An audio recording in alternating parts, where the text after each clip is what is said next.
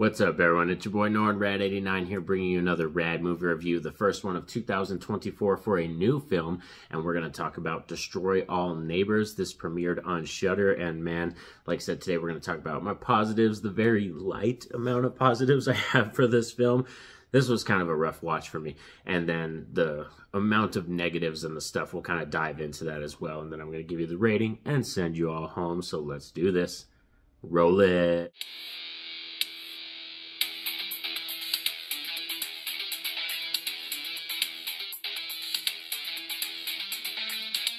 So, Destroy All Neighbors is a new 2024 horror comedy film that is currently streaming on Shudder. It follows our main character, William, who is a struggling prog rock artist, and he's kind of trying to create his major concept album. You know, that one album that you want to make that's going to make a mark on this world. That's what he's trying to do. And then he finds himself in a series of nightmarish events starting with the absolutely terrifying like neighbor that ends up moving next to him and stuff that's played by Alex Winter. So let's kind of get into some of the positives because there is a little bit of sprinkles of positives in this film. So let's discuss those. So to kick off our positives, I think it's fun that we have, you know, the likes of Alex Winter in here. We have Kiran Deol, Jonah Ray, and even Thomas Lennon in here. So the fact that we have like a really fun cast, even Kumail Nanjiani shows up at one point. I like the cast. It's really fun to see all of them, and it looks like they had fun. And another positive is that they committed to their roles. Like I think they all committed to the concept of this story, and they believed in the film, and like they're in the movie.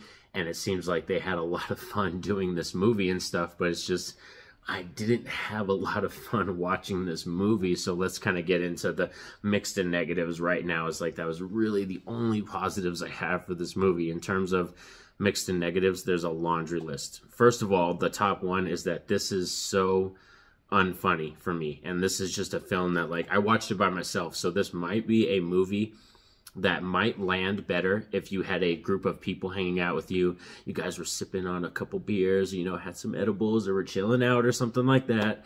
But this is not like watching it alone. It was like dead silent, no laughs from me. Like you can hear a mouse fart in my room.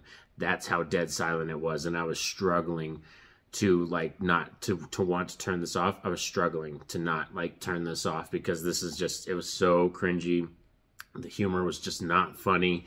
And another thing is the practical effects and the style and the way they handled this film. I just didn't really. I don't say I would, was confused. I was just like the comedy and the blend of horror and what they were trying to do. I was just like it was it was batshit. It's a it's batshit crazy.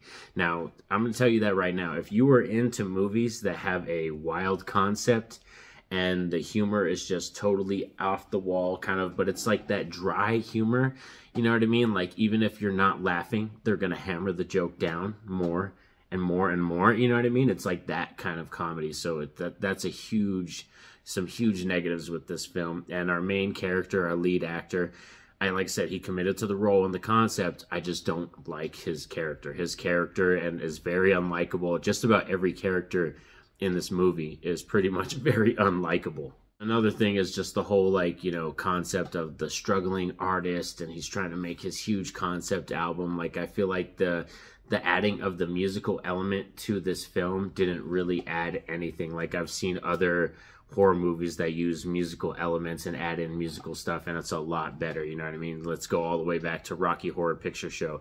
That's way better you know what i mean? Even trick or, or trick or treat the one from the back in the day you know not trick or treat trick or treat the one that deals with our you know rock star that gets summoned from his own record after he's died and stuff like that. So there's a lot of other horror films out there that use the whole musical background and element of music in it a lot better. And like the whole prog rock thing like i just it just it doesn't hit home for me. It didn't hit home like i said and the fact that these characters are so unlikable the dialogue is just so cringeworthy and so unfunny that this was yes this was a very very rough watch for me and like i said probably one of the films recently that I could remember in my mind that I was like struggling to, you know, like as far back as I can go, Speak No Evil was way worse than this. That was that was a movie that I actually like disdain. I disdain that movie. That's a nice word. I've never really I don't use that word a lot, but this movie was just a rough watch because I was severely bored.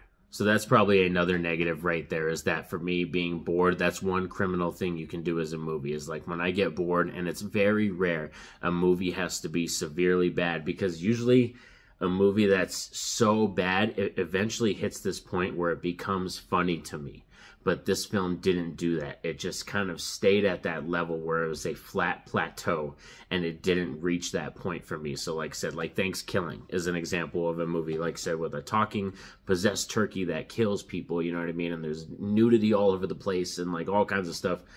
That film is like it's it's so bad it approaches it reaches funny territory. This film was just a flat plateau the performances like i said they put in a lot of effort and you can tell like they put in some work in this film but i just was like not having it was not feeling the vibe at all. So destroy all neighbors is currently streaming on Shudder this one's directed by josh forbes and like i said this one just missed the landing for me did not hit home at all for me. And in terms of a rad rating for Destroy All Neighbors, this film's gonna land in at a 2.5 out of 10. This is a very like oof, very a film that I would not recommend. Like I said, unless you're into a very specific type of humor, you're into horror that focuses around musical elements. But that wasn't even my favorite part of the movie. Like you know, like I said, my favorite part of the movie was just the fact that there was all these cool familiar faces within the film but like i didn't find any of them that funny or anything so yeah 2.5 out of 10 is where this film's going to sit and probably as this year takes place 2024 this is going to be kind of like that benchmarker of like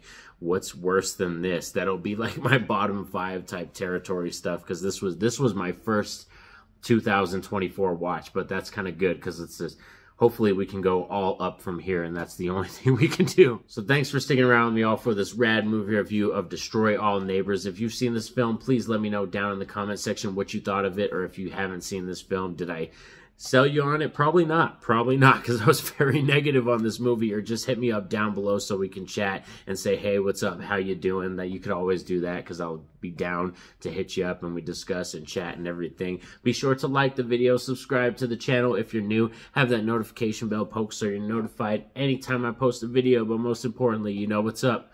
Have a safe and happy day. Peace out.